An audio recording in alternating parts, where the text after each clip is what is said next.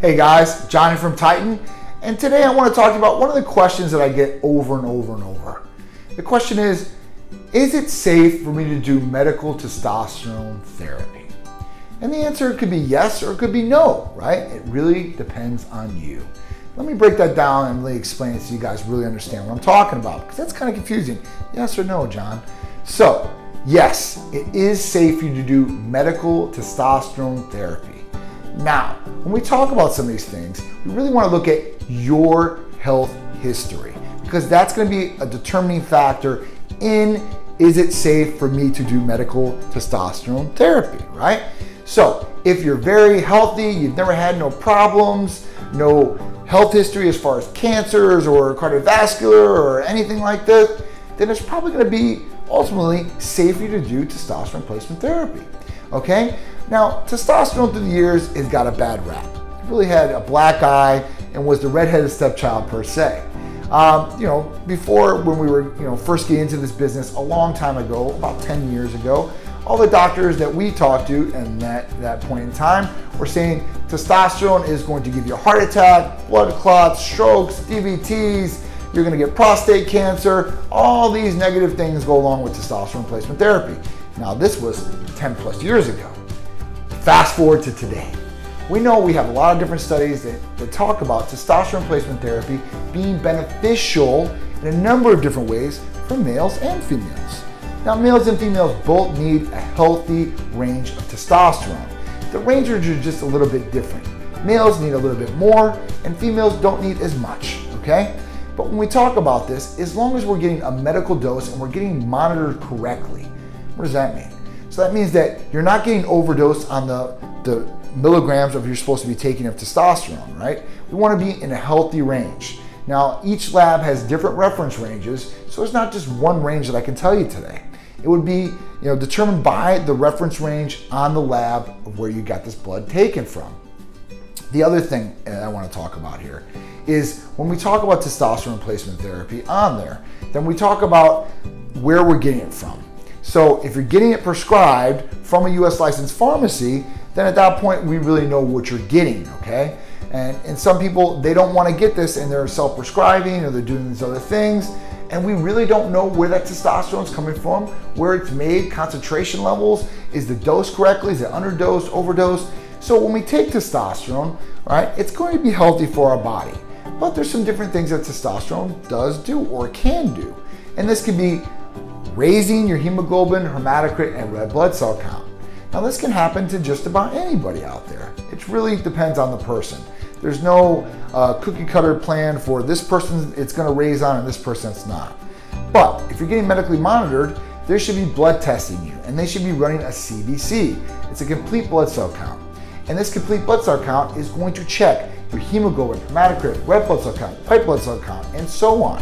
This will determine if you need to donate blood or give blood, right? If this is not monitored correctly and hemoglobin, hematocrit, and red blood cell count goes too high for a long period of time, this could cause negative health issues for you. DVTs, blood clots, strokes, okay? That's where testosterone really got the negative black eye portion of this, right? Because doctors or people that were taking this were not monitoring correctly and people were running really high levels in hemoglobin, hematocrit, and red blood cell counts. And in turn, this was causing them to have these negative health issues. We know that if we monitor things correctly, if we know the dosage is proper, then we can definitely prescribe testosterone to people in a healthy, enlightening way and will benefit them in the quality of life day to day, okay? Because we know if our testosterone levels are low as males or females, it's gonna affect us in the exact same way. You're gonna have low energy level possibly, right? Libido could be in the toilet. Your brain might not function like it should, so brain fog. When you're thinking of that word, it's on the tip of your tongue, you just can't get it, that could be brain fog. And that could be attributed to the receptors of the brain from testosterone, okay? And we can also talk about fat deposits, sugar levels, cardiovascular issues, and a bunch more. So we want to make sure that everything in our body is properly balanced and monitored, including testosterone. And we know nowadays that people are being very deficient in testosterone, males and females. And before it started at the age of 30 or 40, they said. There's different studies on both, that you're losing a percentage of testosterone every year. But we've blood test a lot of different people here, and obviously around the country, there's a lot of people that are more informed or educated about their hormones and specifically testosterone. So testosterone is not a bad thing. I always hear about it all the time. It's an anabolic steroid. Yes, it is an anabolic steroid. But I always ask the person, did you know that anabolic steroid was originally produced in your body and probably still is produced? If not a lot, a little bit, right? So we always got to think of this. Don't always, you know, believe the hype. Really educate yourselves. Talk to a medical provider that knows these things, is educated on these things, and they can treat you properly. If you're looking for more information about testosterone, medical testosterone treatments, and how it can benefit you, then you can call us here or text us at Titan Medical Center. The number is 727 389 3220. We can run a simple blood test or send you in for blood anywhere in the country. We can send you into a lab that's local to you and we can see where your testosterone levels are really at. And if they need help, that's when you can really take that step and educate a decision to help yourself for a better quality of life.